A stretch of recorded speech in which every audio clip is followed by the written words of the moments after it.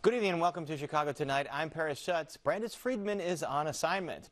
On the show tonight, student loan forgiveness may soon be on the horizon. A look at what could be in the Biden administration's plan. After promises to fix the gang database, WTTW News finds CPD has yet to launch a new system. We dig into why. There are days as governor when I'm not sure I have the words. A leak from the Supreme Court could signal the end of Roe v. Wade. Our Spotlight Politics team assesses the impact. There's a question about the review process even being a legitimate review process. Illinois bands together with other states and environmentalists who want the Postal Service to electrify its fleet of delivery trucks. The fate of two early skyscrapers on State Street is at issue in a debate pitting historical preservation against security concerns. I'm Amanda Vinicky. Coming up, a look at an effort to get more women in the trades. And renovating a historic theater inside the Fine Arts Building, a home for artists for more than a century. But first, some of today's top stories. The Federal Reserve is escalating its response to the country's worst inflation in 40 years. The Fed announces it is raising interest rates by half a percentage point or from 0.75% to 1%. That's the highest hike in rates in more than two decades. Federal Reserve Chair Jerome Powell addressed the hike earlier today. Inflation is much too high, and we understand the hardship it is causing and we're moving expeditiously to bring it back down. We have both the tools we need and the resolve that it will take to restore price stability on behalf of American families and businesses. The bank listed Russia's invasion of Ukraine as one of the factors worsening inflation pressures. And we'll have more on the impact of the interest rate hike on tomorrow's program. In an effort to address the digital divide, city officials are launching the Chicago Digital Equity Council. As many as 20% of Chicago households are without internet and over 12% don't have computers. That's according to the mayor's office. Communities with the lowest connectivity rates are over 90% black on average. Over the next six months, the council will hold a series of community conversations to talk about barriers and solutions to achieving digital equity. South suburban residents are getting an upgrade to a local metro station. Officials broke ground at the 147th Sibley Boulevard station in Harvey for a rehab that's set to include elevator access, bicycle parking, and new shelters. Governor J.B. Pritzker was at today's groundbreaking. After more than 30 years without any major upgrades, the 147th Street Sibley Metra Station is ripe for an overhaul to keep up with the community's evolving needs. The project is estimated to cost $20 million, with some funding coming from the state's Rebuild Illinois program. Metra says the station will close May 16th for about 12 to 15 months while the project is completed. And up next, the argument for and against student loan forgiveness. Chicago Tonight is made possible in part by Alexandra and John Nichols the Jim and Kay Mabie family,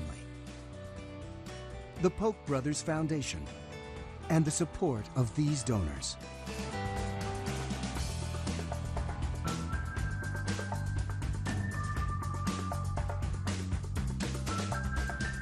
The Biden administration has floated vague proposals to eliminate billions in collective student debt.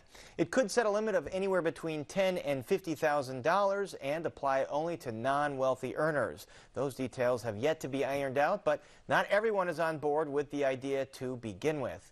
And joining us with more are Michael Petrilli, president of the Thomas B. Fordham Institute, and Horacio Mendez, president and CEO of the Woodstock Institute. Thank you both for being here. Michael Petrilli, we don't know the specifics of what the president is thinking, but it could be anywhere from canceling ten to fifty thousand dollars of student debt. Good idea?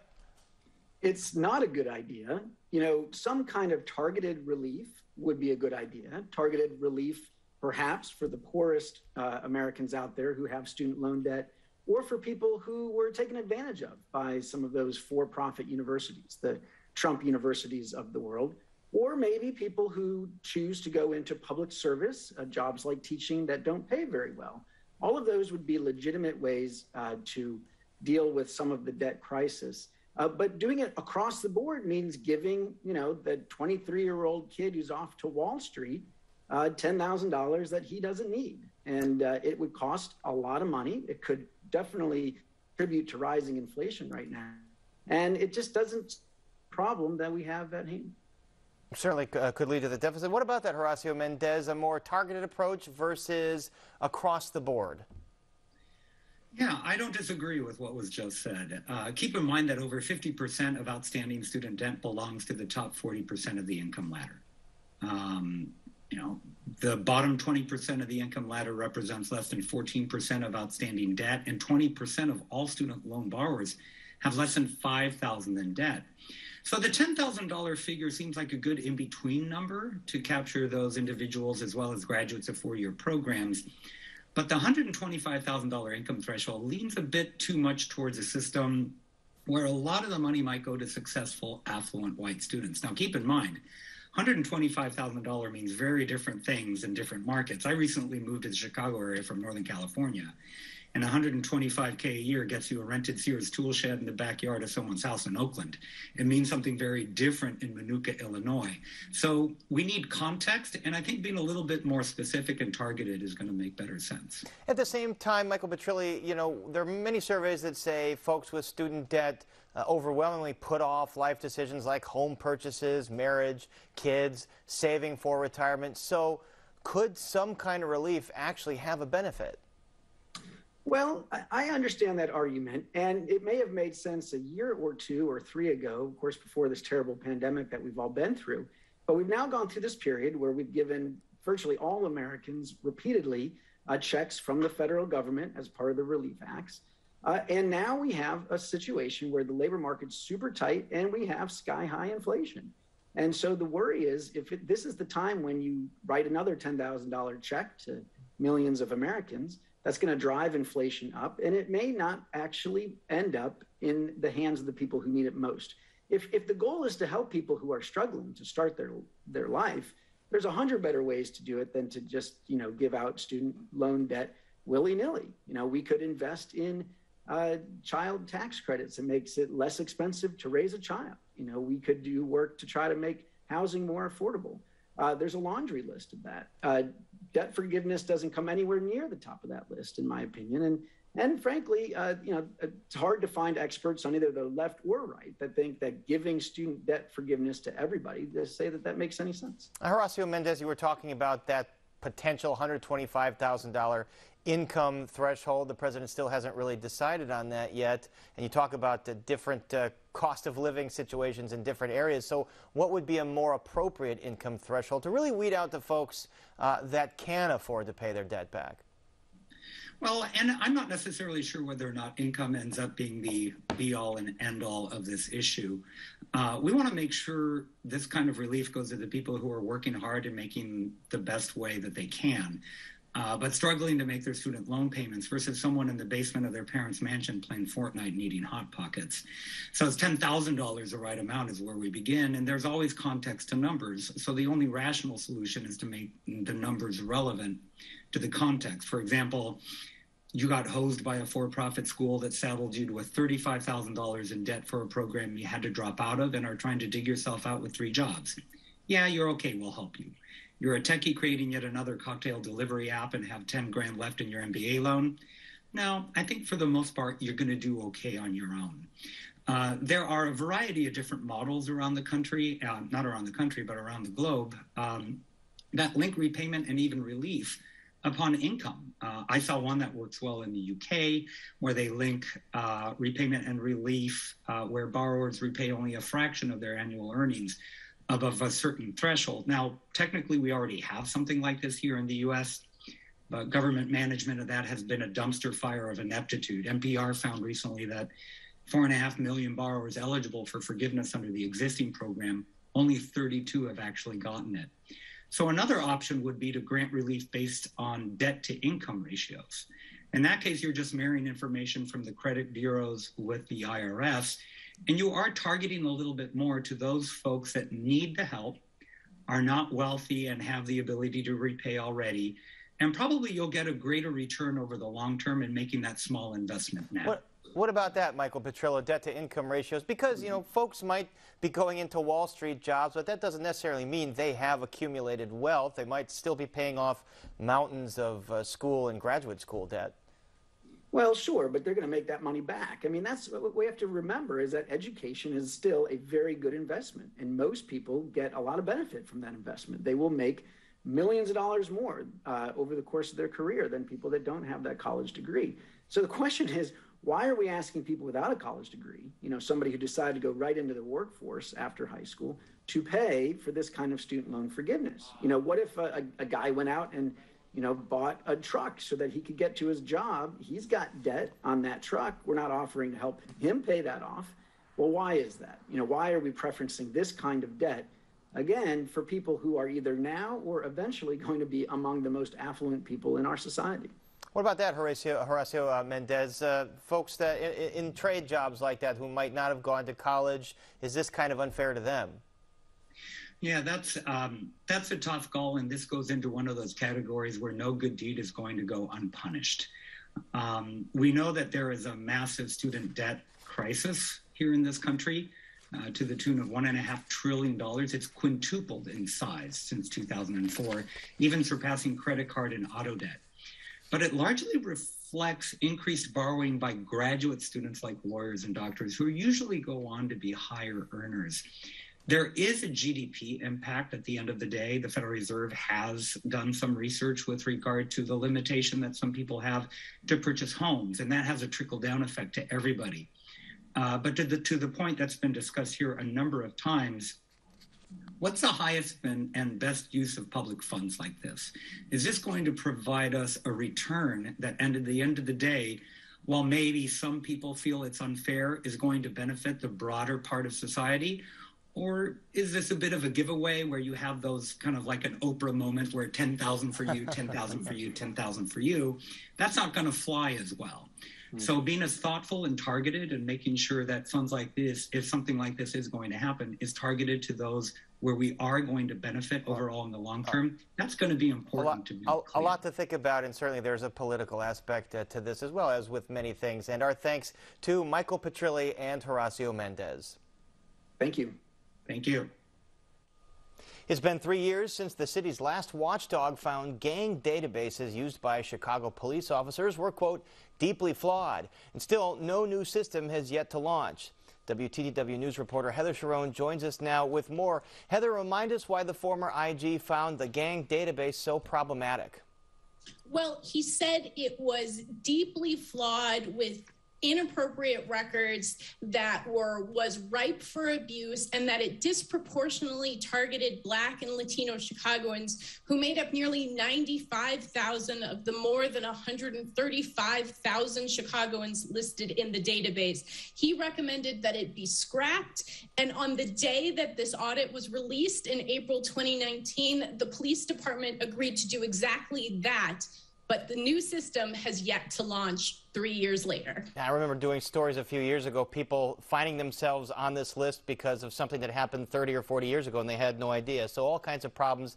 this new system is supposed to be called the Criminal Enterprise Information System. What else uh, do we know about it and how it'll work?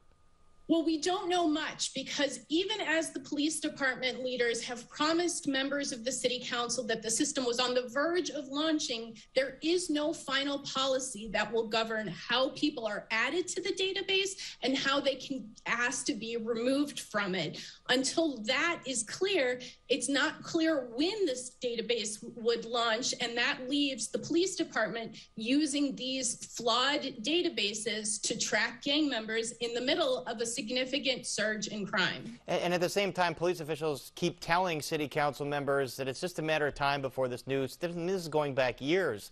I remember them going to city council and saying this. So, what do we know about a time frame? Well, I asked Mayor Lori Lightfoot's office exactly that question. She referred questions to the Chicago Police Department, who said that they were working to vet data that will be moved from this old system to the new system, and that was taking longer than anticipated. Now, the city was sued over this gang database by people who said that they had suffered harm from the database, and so this new database will be governed by the settlement of that lawsuit. But exactly how it will work is still up in the air. So many questions still. All right, Heather, thanks very much. And we'll see you again later in the show for Spotlight Politics. Thanks. You bet. And be sure to read Heather's full story on our website. That's WTTW.com slash news. The fate of two downtown buildings is being debated by preservationists and the U.S. government. The 1913 Consumers Building on South State Street and its neighbor, the 1915 Century Building, were designed by two of Chicago's most storied architecture firms. But multiple federal agencies say the tower's locations just east of the Dirksen Federal Building render the country's largest federal courthouse vulnerable to attack and pose too much of a security risk to keep. Still, preservationists contend the buildings can be repurposed in a manner that preserves safety for the Dirksen and its employees. And joining us are former Chief Deputy U.S. Marshal in the Northern District of Illinois, Jason Wojdylo, and Lee Bey, architecture critic and member of the editorial board at the Chicago Sun-Times. Welcome both of you to Chicago tonight. Uh, Jason Wojdylo, you were uh, U.S. Marshal when the decisions about this building were made. So what concerned you so much about letting these buildings stand? Yeah, thanks so much for having me, Paris. Uh, I was at the top of the U.S. Marshal Service from 2018 to 2020 when uh, we made decisions to um, or we made recommendations rather that these buildings should come down uh, rather than be redeveloped. Um, the, the fact is is that there are a variety of factors that we look at um, when we evaluate security risks to U.S. courthouses. Now, I'm not going to get into the specifics of what those are, but specific to these two buildings, we looked at their condition right? So the buildings have been vacant since about 2005, the better part now of 17 years. They have not been maintained. Uh, they are in disrepair. The facade continues to fall from the from the building. Uh, we look at what it might take to rehabilitate buildings, and cost is certainly a consideration. Uh, the estimates are that to rehabilitate these buildings, even if uh, the government's landlord, the General Services Administration, were to uh, fill them with federal workers, uh, we would be looking into the hundreds of millions of dollars. It would require a brick by brick repair of the facade. It would require a complete gutting of the interior of the buildings. Um, that money just simply is not available. We also look at what's known as the Interagency Security Committee standards and policies. Now, the Interagency Security Committee was created after the Oklahoma City bombing pursuant to an executive order by then President uh, Bill Clinton. And it brings together uh, 65 uh, federal agencies, uh, 21 primary agencies for which the U.S. Marshal Service sits uh, on, as well as 44 associate agencies. And th- these committees evaluate security risks, we develop policies, uh, we set standards, and based on all of those factors that this committee um, puts together uh, yet another um, check in the box of not able to rehabilitate. Um, well, and, and, I'm sorry, I got to get Lee Bey in here. So, long story short, the, you believe that these buildings are dangerous because of the proximity to the Dirksen Federal Building. And let's say, uh, you know, worst case scenario, a sniper is up uh, in one of those buildings. They have direct shot at what goes on in the Dirksen Federal Building. Lee Bey, given all these concerns, uh, why is it important that you believe that these buildings should be preserved? You know, the, the, the, security concerns are legitimate, and the, the, climate that we live in is legit to have security concerns. I think the thing that puzzled us in a way was one, um, uh, you know, the heavy lift to restore these buildings. Uh, the GSA wouldn't have had to uh, take. I mean, there was a deal in place where the GSA would uh, tender the buildings over to the city, who would then turn over to a developer. They announced uh, this plan. I want to say 2017 or 18. So if so, the federal government wouldn't have, wouldn't have had to pay and, for it. I and Lee, I, will let you. Can, I just want to jump in. As the GSA is the General Services Administration, so it's the agency that operates these government-owned buildings, like the buildings we're talking about. Uh, go ahead. Exactly, and acts as, as, his, as his landlord, and is his landlord. Um, the, the the other thing is that the, the federal federal plaza, federal center, and, and this is what what, what Mies van der Rohe and the architect designed it to be, what the, federal government wanted it to be. It's in the middle of downtown. So the buildings, you know, the uh, uh, Berghoff restaurant buildings abutted to the south side. There's streets that run through it and, and, and past it. So it was made to be, I mean, and the plaza is, is open and, and free. After 9-11, they put bollards around it. I was in the mayor's office actually at the time and worked a bit on this with, with, with, the, with the federal government. But, but by and large, they, they push for openness. And so it was a mystery to, to me as architecture critic uh, why they would take this route uh, in, instead. And of course, with the city's help, the city withdrew its deal uh, after the security um, the, the, security study was was was was completed. All right. Uh, so Jason Wojdylo, yeah, a few years ago, as Lee Bey mentions, uh, the government did strike a deal with a private developer that was going to foot the bill to fix all these things. A, B, uh, the point that Lee brings up that there are other buildings close to the Dirksen Federal Building, and the government has not deemed those a threat. Can you respond to those? Sure, cer- certainly. Again, our objective is to mitigate threats. So in 2005, the federal government purchased that entire city block to include these two buildings. So the federal government owns these buildings. Um, you know, we were able to achieve, based on the congressional intent, to create that security buffer that would not have existed had we turned these buildings over to a private developer. Um, you know, these decisions were not made in a vacuum. We do believe that, you know, even with the uh, current environment where these buildings come down, it would promote the openness that the architect, the original architect of the Dirksen building uh, sought, and that is the openness. The fact is, is that the front, the true front of the Dirksen courthouse faces State Street. Years ago, it was re-engineered so that people entered on the Dearborn side, but the true front is State Street. And when we eliminate these buildings, we could create, the federal government could create this openness that was a part of the architectural uh, design in developing the entire federal plaza. So we believe that there is a path forward. Um, you know, the cost that is associated with what it would take to rehabilitate these buildings, just not money that is available. I've heard from the preservationists, I've read a lot of what their ideas are. Unfortunately, um, from my perspective, I stand by the decisions that were made in the 2019 uh, time period. And, and, as I understand, right, now, the timeline is there going to be some hearings on this, but demolition is slated for 2024. Lee Bey, from a, a pr preservationist standpoint, uh, what is the loss to the city uh, from losing these buildings uh, if you're a lover of architecture? Well, I think there's two ways to look at it: uh, preservation and architecture, but also urban urban planning, the healthy the health of State Street. Uh, so architecturally, to, to lose two 20th century, early 20th century skyscrapers designed by some by two of the kind of founding fathers of Chicago architecture is always a loss. To have it replaced with what was described to me by the General Services Administration uh, as, as a kind of like a, a, a, plaza and security buffer takes away some of the vitality of State Street. We know from Block 37, which stayed empty for, I don't know, 15 or 20 years, that uh, what that does to a street that was designed and made to have commerce and people and action. And when you put them, when you put these missing teeth in uh, here and there, uh, they're, they're, they're, it, make, it makes it difficult for that to happen. Uh, walking by there at night, uh, uh, you know, becomes a little bit more difficult and challenging, uh, just because it's not not for any other reason necessarily, but but but that there is just a, it's just an empty space, and there's something that I think that State Street can ill afford. We talked earlier about people coming back to work and the efficacy and, and need for office buildings and space uh, post COVID. State Street is struggling with this. Will struggle harder if there's a you know a vacant spot and it's really four buildings right? Uh, two buildings plus two small buildings in the middle. So we're talking about a big chunk of that street between jackson and adams on the east on the on the west side that would be gone. All right well this is this is a debate that's going to go on and we will continue to follow this but for now our thanks to jason wojdylo and lee bey. Thank you so much. Thank you.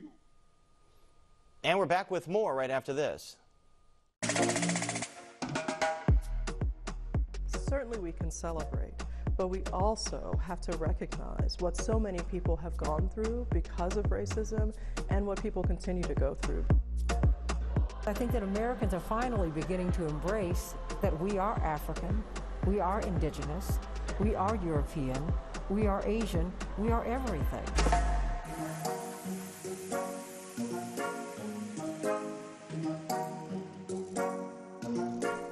Illinois is ramping up efforts to diversify the labor movement. The State Department of Commerce and Economic Opportunity this year awarded nearly $10 million in grants for pre-apprenticeship programs in construction, programs that put candidates in the pipeline to lifelong careers in the trades. One of the grant recipients was Chicago Women in Trades, a group that worked with the local carpenters union to organize a training program that is unique. For the first time, it's for women only. Our Amanda Vinicky visited this morning and has this report. It wasn't all that long ago that the biggest construction project Sheila Jones had taken on was putting together an IKEA closet for her daughter. and that took a long, long time. And then looking back, I'm like, there's so many things I did wrong with it, which I'm now going to go back and fix. Forget IKEA. Jones is part of what the Chicago Women in Trades says is the regional union's first all woman training class in 140 years. Eight weeks into their nine week class, Jones and her peers have learned to erect scaffolds and how to maneuver aerial lifts. We've done wood framing, so like this, building, building up houses, building up walls, floor framing. Uh, we've done concrete form building, so building foundations, things like that. It's all part of a pre apprenticeship program that will put Jones on the path to becoming a union card holding carpenter. At age 36, it's a huge career switch for Jones. I was actually working as a nursing home uh, case manager for chronically mentally ill patients, residents. And uh, that was during the height of COVID, and it just became too overwhelming. I have two kids at home, so when their schools closed, um, I just couldn't do anymore. It became just way too much. She'd been making between forty and forty-five thousand dollars a year. As a journeyman, make that journey woman, she stands to make more, plus a pension and health care. Classmate Katie Maloney says she too took a circuitous route to get here, working as a camera operator and a realtor. I've had a ton of jobs. I worked at a restaurant at one point. I worked at a Toys R Us in New York City. It's been an adventure. But I've always really enjoyed being very hands on and getting a chance to put things together and to really feel like there was a result to the work that I was doing. After soul searching, she nailed down what she wants to do be a carpenter. Maloney says as a kid, she would build things with her grandpa and dad. With my mom and my grandmother, they wouldn't have had an opportunity to go into these types of fields, even if they were interested. So I know I've talked to my mom before, and she said when she was in school, her choices were to be a secretary or to be a nurse so she became a nurse. According to a 2020 report from the Illinois Department of Labor, there still aren't a lot of women in the trades. In 2020, women made up 4% of those in trade apprenticeship programs. Programs like this could change that. Unions are under pressure to do so from governments with minority contracting rules. The Obama Presidential Center promises 50% of its work will be done with minority, women, or veteran owned businesses, and 50% of on site construction will be performed by Chicago residents. The training program's director says women have been carpenters for a long time. He trained with a woman in his pre apprenticeship class in 1974. There are women foremen and supervisors. Women were accepted. You know, you always have somebody that, you know, has to make a comment, but mostly everybody has worked with uh, with everybody. You have to work with everybody. The way you build a building was with a group of people. That's the only way that construction works. To get into the program, would be apprentices have to pass a math and aptitude test. No experience with a hammer and nail or circular saw necessary. They'll learn. We missed this morning's workout, but that is another element of training. Women have to carry two by four planks, 16 foot scaffolding, and do push ups every day because this is a physically demanding job. The instructor, a woman by the way, says the class has discussed one downside. Their training doesn't mirror reality. Once they're full fledged carpenters, the trainees will work on crews made of mostly men as Christy Fell is doing right next door, where she is the only woman. I think there are stereotypes, especially with just, uh, you know, maybe women being weaker or unemotional or the general uh, substance. But when you break it down, everybody has a bad day. Everybody has their flaws and weaknesses. And that's the point of me being in this guy's class, kind of, is to point out that we can carry each other in different strengths and weaknesses. Fell says she'd enjoy what she called the sisterhood of traveling pants atmosphere of the all women's class across the wall, but she's also using her training as an opportunity to teach and to encourage the mostly younger men she's learning alongside.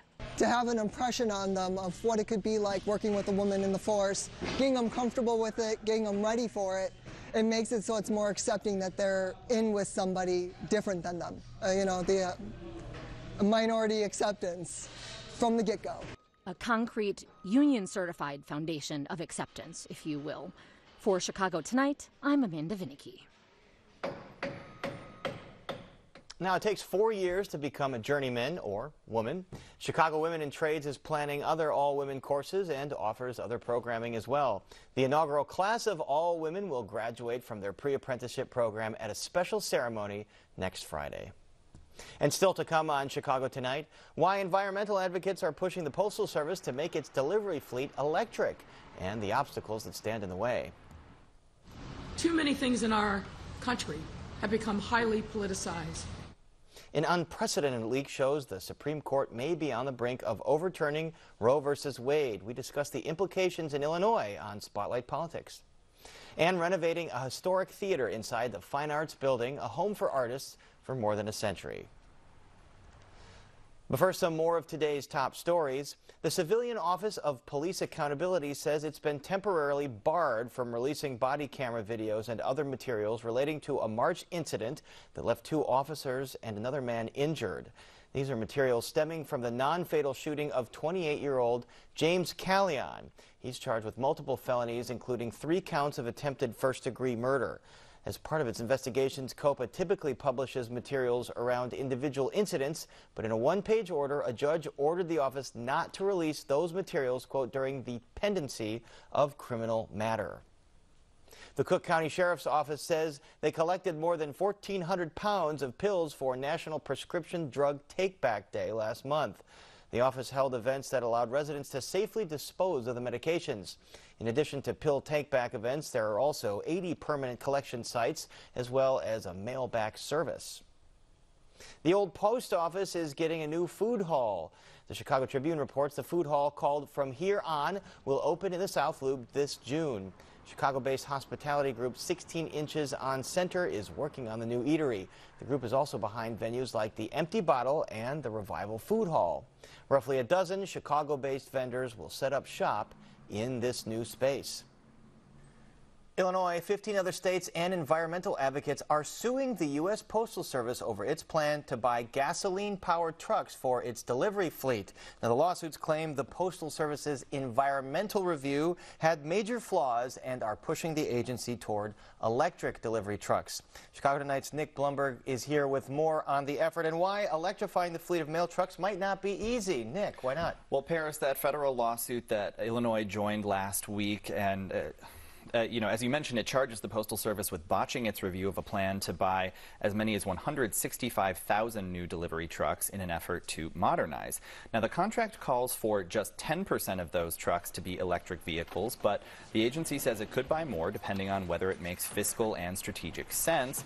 But Illinois Attorney General Kwame Raoul says it appears the agency didn't follow the National Environmental Policy Act by awarding the contract before conducting an environmental review. These laws are not put on the books just so you can check a box and put out a report after you've made a decision. The Postal Service um, has a, a, a, fleet of over 212,000 vehicles. And so if we can affect change with the Postal Service, that could have dramatic effect on, on our environment, on preserving our environment. And Nick, what's the response been like from the Postal Service? Well, so far the agency's been defending the deal. A spokesperson told us it placed an initial order for 50,000 trucks in March, and a minimum of about 10,000 of those will be electric vehicles. Quote, the Postal Service is fully committed to the inclusion of electric vehicles as a significant part of our delivery fleet, even though the investment will cost more than an internal combustion engine vehicle. That said, as we've stated repeatedly, we must make fiscally prudent decisions in the needed introduction of a new vehicle vehicle fleet.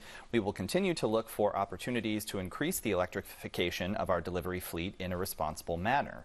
Now, in addition to the 16 states suing the Postal Service, environmental groups are also taking the agency to court. Patricio Portillo of the Natural Resources Defense Council says many of the trucks in the current fleet have been on the road for decades, meaning the new ones are likely to have a long life too. And he notes they spend a lot of time out on the road. These vehicles, every day of the week, pretty much, they are in our neighborhoods, uh, idling, you know, driving slow, doing the hard work of delivering our mail, um, but they're also putting out uh, NOx and particulate matter into our air. Um, and this is a big issue, uh, particularly for communities that are already suffering from poor air quality yeah, Nick, we know a lot of communities in Chicago have poor air quality. Uh, what's uh, been reaction like from some of those communities? Well, local environmentalists that we spoke to have been supportive of this plan, especially since it's not just the Postal Service out on the road. The increase in e-commerce, in particular during the pandemic, means more delivery vehicles than ever. Now, advocates say electric vehicles can improve air quality, but they also caution it's important to pay attention to where distribution centers go and make sure that they aren't just in Chicago's lower income neighborhoods and communities of color. We understand that the city and state want to grow when it comes to transportation, logistics, and distribution. However, they are not considering the impacts both on air quality issues, but cost of medical and health um, to our communities and the environment, quite honestly, um, as part of that equation. Unfortunately, the dollar signs of that growing industry are, are too too attractive to look at the realities of what comes along with that and communities like ours and communities across illinois are facing the detriment of uncontrolled growth in this area um, on a daily basis Companies with big delivery footprints, including Amazon, have said they want to have electric vehicles make up a major portion of their fleets, but it's not necessarily that simple. There are still production capacity and supply chain challenges to going all electric. Caspar Rawles is Chief Data Officer for Benchmark Mineral Intelligence, a market analysis firm for the raw components that go into electric vehicles.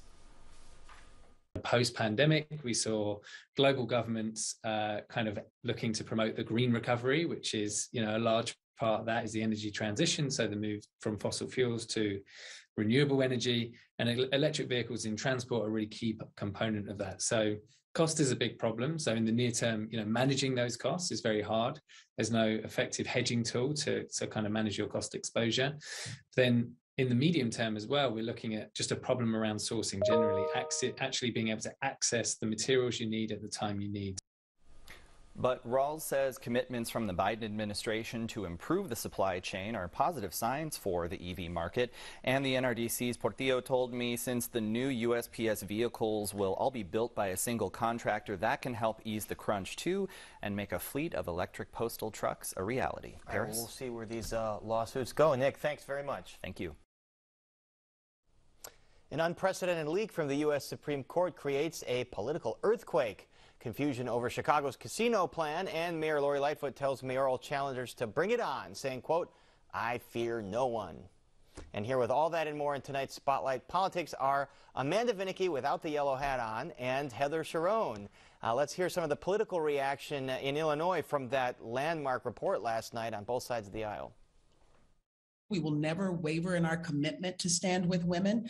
But listen, on, on the Republican side, we expect to hear from every single candidate where they stand. Do they stand with women and our right to bodily autonomy or not? Until the legislature is solidly Republican, that until the governor's office is solidly Republican, that these uh, these pro-choice measures will stay in place. And I do believe that through time, we'll be able to chip away at the uh, at the radical abortion legislation that has been passed in the last two years, and I think people throughout the throughout the state of Illinois understand and agree with that. Amanda Vinicky, midterm, a little over a month away. How does this change the political dynamic? Well, so it really is going to be a big deal, I think, in the primary, and the two sound bites that you just heard really encapsulate that. Republicans are, for them, it is sort of, um, it, it depends on where you're at. For conservatives who are running to the right, this is amazing for them. They say it is going to galvanize that base.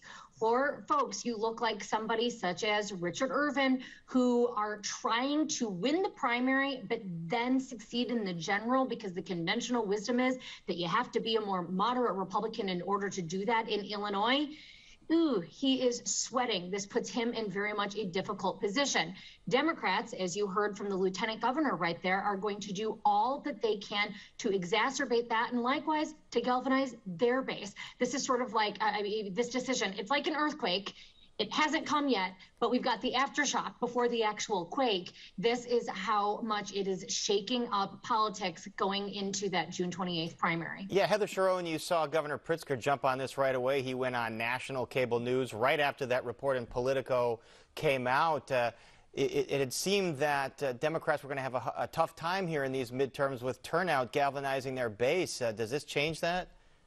Well, Democrats are certainly hoping that it will. Um, you know, at the very beginning of Pritzker's time in office, he vowed to make Illinois the most friendly state for abortion rights and reproductive health for women. So this has been a central part of his efforts as governor dating to before this uh, almost earthquake, I guess we can call it to pick up on Amanda's metaphor. So he, this is right in his wheelhouse. He is hoping to capitalize on this, but it is really anybody's guess as to whether or not this does get voters to the polls on June 28th. We've been talking about it's a weird time for a primary, and everybody will be scrambling to get voters to the polls. And this might provide a little bit of impetus to do so for Democrats. I mean, from so, you know, Heather, I, oh, sorry, Paris. I was just going to say, I mean, it is a weird election time, right? I mean, it, it's in the summer. As you noted, we, have been talking about it. We, we can't make predictions. I do think that something like this is going is so monumental for people who care about the issue for abortion and by the way that is a lot of women and that is a lot of crucial votes uh, and so if, if this doesn't galvanize it is hard to imagine what will. In a way, you right. think of politics. I mean, there's a war going on, of course, in Ukraine, inflation, crime. These don't go away, but this is the sort of thing that gets people on both sides of the issue very motivated. Hard, hard to think of a more galvanizing is- issue. I'll throw this out to either of you on the public policy front. You know, we've, we've heard Congress talk about uh, passing a federal law codifying Roe v. Wade protections. We know that Illinois uh, has laws in the books that, that maintain uh, abortion being accessible and legal. But Heather Cherone, first of all, what's the prospect of a federal law, and, and, and how does that interact with state laws like Mississippi and Texas that are going to outlaw abortion completely? Well, we heard State Representative Kelly Cassidy speak exactly to this yesterday, not only alongside Governor Pritzker, but later at Planned Parenthood in downtown Chicago. And she said that if the Democrats lose control of the U.S. House and the U.S. Senate, and then a Republican president is elected in 2024, it, a national ban on abortion it is likely, she said. And then at that point, Illinois is no longer an oasis for women who need abortion or other reproductive health services, because of course, federal law would trump state law. So that is what Kelly Cassidy really wanted to warn people that that people have been sort of saying that not much is going to change in Illinois if Roe versus Wade is overturned because there are state laws that would protect a woman's right to choose, but that will not trump federal law. And Kelly Cassidy was very clear that that is what's on tap, uh, perhaps as soon as 2024. Right, and, and we clearly and, also know where the U.S. Supreme Court would stand in that event as well, with this expected and, and, decision. And, Justice Alito, in his opinion, had basically said that Roe v. Wade didn't take away all the controversy over this issue, but uh, this draft opinion, uh, should it stand, certainly doesn't take it away either. Just just makes it much more controversial and much more open-ended. Let's move on to the casino uh, proposals. Uh, Heather Cherone, there's some reports now saying that Mayor Lightfoot has uh, her horse, uh, her winning horse, and that is the Bally's proposal on uh, Halsted in Chicago, where the Tribune printing plant is. Uh, is that square with what you're hearing? It, it is. Um, the, you know, I think that the definitive answer, which we could have as soon as tomorrow morning, really comes down to the to two things. One, the Bally's proposal would create the most money for the city and state. So that has been Mayor Lori Lightfoot's number one goal since this started, because this money will help the city pay down its massive pension debt for police and firefighters. The other issue is, is that this Bally's proposal is the only one that the local alderperson has not come out in vehement opposition of. This would go in Alderman Walter Burnett's 27th ward. Now, he is not thrilled about the prospect of a casino in River West on what is now the Chicago Tribune printing plant and newsroom, but he's not against it. And Walter Burnett, who has been in, in the city council for a long time, you know this as well as I do, Paris, he is the consummate um, you know, deal maker and connector. So if if this casino does go in his ward, he is going to try to get everything he can for his constituents. It is going to put him at odds with Alderman Brendan Reilly and Alderman Brian Hopkins, two neighboring alder people who are very much against the proposal. So we still have a lot of uh, hands of cards to play in this game to right. make a back. There, there, are a lot of council members that have been thorns in the sides of mayors. Uh, Alderman Burnett has not been that. We'll, we'll, we'll see where he goes on this. But Amanda Vinicky, uh, Heather mentioned the other alder people that are in close proximity there. They're saying heck no to this. How is this proposal, if this is indeed the winner, going to get a majority support on city council when when residents there have said we're, we're just we're just not cool with this uh, en masse they've said that. Uh, and an aldermanic prerogative is something that has been respected by colleagues for a long time Right, but aldermanic prerogative, right there, you've got Burnett. So what you're hearing from uh, Reilly and Hopkins is that they are going to do all they can to twist their arms of the rest of the members of the city council, play their cards, if you will, and perhaps the local constituents will be the ones who will be uh, help them in, uh, along those lines. If they really galvanize, as you noted, Paris, the associations, those who live nearby are saying we don't want to deal with the disruption, with the traffic, all of the tumult that a casino could bring. But this is going to go somewhere. I mean, it really is ironic. Think about how bad Chicago wanted a casino, how much the city had been fighting for this. And now that it's been given the option, nobody wants it. there haven't been really any elder people uh, um, other than Burnett who isn't jumping up and down about the prospect, at least outwardly, who want to bring it to their community. Heather Cherone, very quickly, is it over for uh, the other proposals here, Rush Street Gaming, Neil Bluhm, and, and then the Hard Rock proposal? Well, I am sure that they are all scrambling, trying to sort of stave this off and keep their bids alive because there is just so much money at stake that I don't think anyone is going to go quietly, especially when the, the prospects for any casino is so uncertain in the city council. All right. And by the way, this does still need state gaming board approval. So even if it does get by the city council, there's another layer left. And the gaming board, they take a really close look at these things. A lot, a lot of hurdles left to go a lot of hurdles if the city wants to host the 2024 Democratic National Convention like it did in 1996 uh, and 68 and, and back before that, sometime in, in the FDR administration or the Truman administration. I can't keep it straight. But uh, Heather Cherone, typically the, the uh, both uh, RNC, DNC choose swing states. Illinois is not that. So how serious a proposal is this? Well, it's a very serious proposal, and Chicago is really making the argument that Chicago itself is an argument for the Democratic Party because it has fully embraced Joe Biden's platform of, you know, a, a raise in the minimum wage, you know, expanded rights for um, Black and Latino residents, and, and a commitment to, to fighting climate change and support for gay rights. Now, that is a different argument than we have seen conventions sort of make in the past, putting the, the convention somewhere to showcase and to sort of, you know, spread the money around to voters who would cast those deciding ballots in the electoral college. So we'll have to see if it's successful. Um, but I think they've probably got the journalists' vote because covering a convention in Chicago in the summer uh, would be uh, a lot of fun for, I think, everybody. And, and having covered multiple conventions, it's tough to travel to those places and uh, and you know deal deal with all that when you can just kind of sleep in your own bed and then go cover the convention all day. Amanda Vinicky, do we know when Democrats will make a decision on this?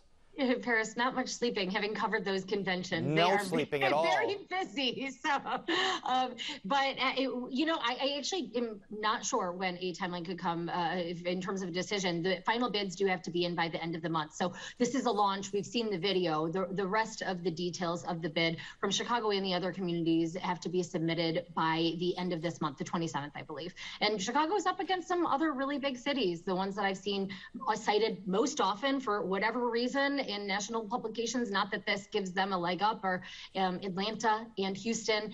By the way, swing state, Chicago, of course, certainly not in one in Chicago itself, very, very blue, but nearby a lot of swing states. And so that might be also part of, that is in fact part of the argument for bringing a convention here. The hardest part about those conventions is the hotel rooms sell out right away. So I remember, I think in Tampa and St. Pete, we were staying like an hour away and you're Yeah, done that- working that at 2 a.m. You, you take a bus home. You're up again at 6 a.m. to go work. So that wouldn't be the case if it happened here. Heather Cherone, uh, very quickly, 30 seconds left. Um, a political consultant said last week that the person that's going to really give Mayor Lightfoot a challenge has not yet entered the race. Who could that be? Well, that is literally the $64,000 question. We heard um, from Alderman Rod, Rod, Roderick Sawyer last night an event um, at the Hideout saying that he was still considering a run for mayor. And I think that the field is wide, wide open. And thanks to that poll conducted by Rep. Mike Quigley, who decided not to run, everybody seems to think that Mayor Lightfoot is vulnerable. So perhaps that will encourage others to take another look at the race and perhaps toss their hats in. And I know time- Bill time Conway's is a really been there. trying to make a play. Who, who are you saying, Amanda? Bill Conway has really been trying to Oh, make right, a play who had as run well for because you got to remember, County city State's council attorney. people would be giving up their seats. Right, he had run for state's attorney against uh, uh, Kim Foxx in the uh, in the uh, primary there. All right, that's where we'll have to leave it. Thank you, Amanda and Heather. And up next, renovations for a building that's been a long time haven for artists. But first, we take a look at the weather.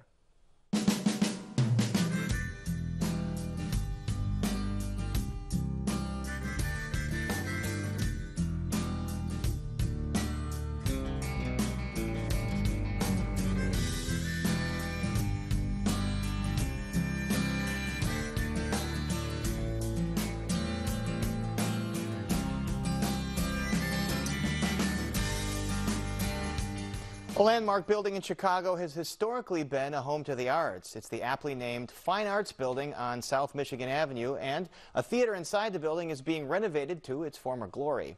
Producer Marc Vitali has another look at some of the finer points of the Fine Arts Building.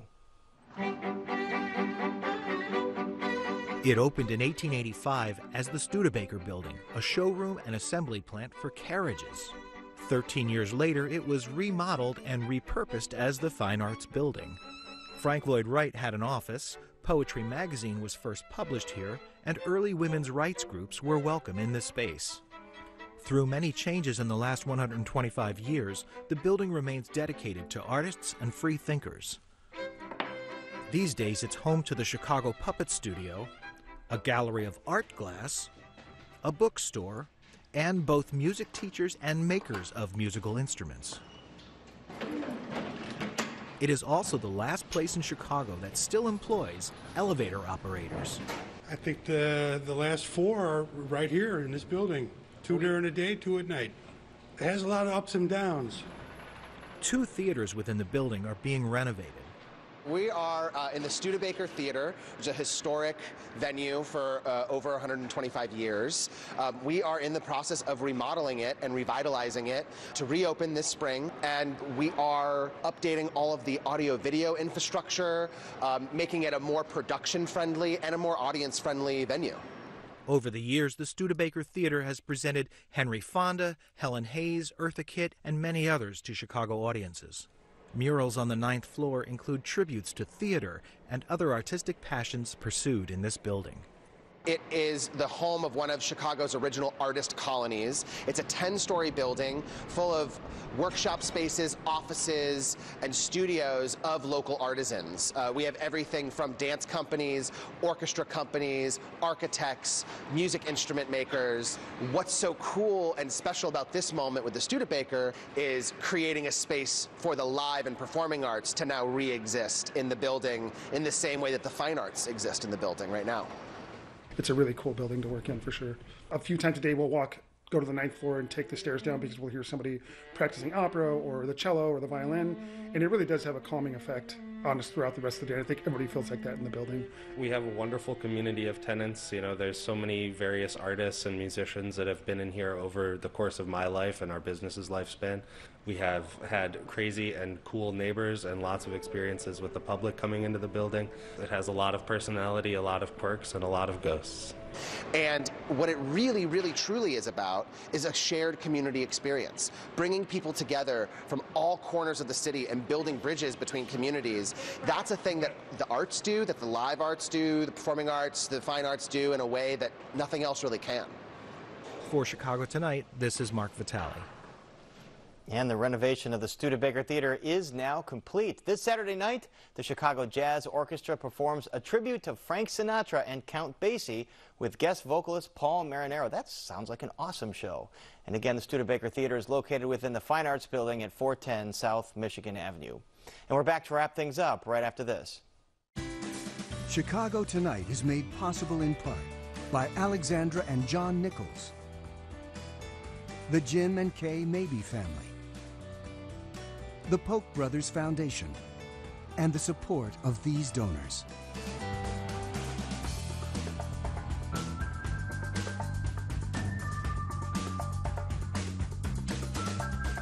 And that's our show for this Wednesday night. Please join us tomorrow night live at 7. The Federal Reserve issues its biggest interest rate hike in more than 20 years in an effort to tackle inflation.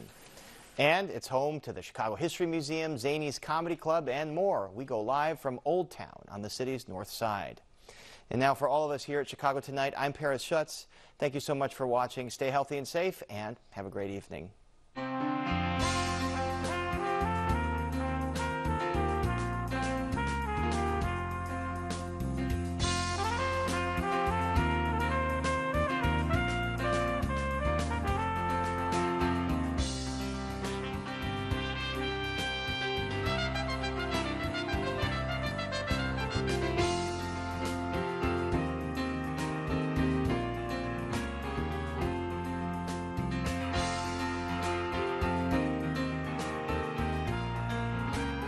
Closed captioning is made possible by Robert A. Clifford and Clifford Law Offices, a proud sponsor of diversity, equity, and inclusion focused free continuing legal education for lawyers throughout the region.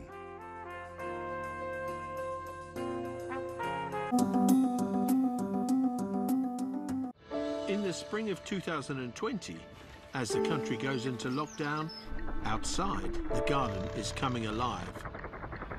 As a wildlife